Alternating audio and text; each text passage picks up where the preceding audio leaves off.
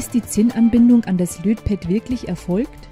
Sind die Isolationsabstände zwischen den leiterbaren Innenlagen ausreichend?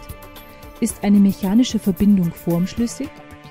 Diese Fragen können mit Schliffen sehr präzise beantwortet werden. Zur Schliffpräparation sind zwei Schleif- und Poliermaschinen sowie das komplette Equipment zur Druck- und Vakuumeinbettung installiert. Schliffe werden zur Fehleranalyse, aber auch präventiv zur Überprüfung von Qualitätsmerkmalen, zum Beispiel zur Erstmusterüberprüfung bei neuen Leiterplattenlieferanten, erstellt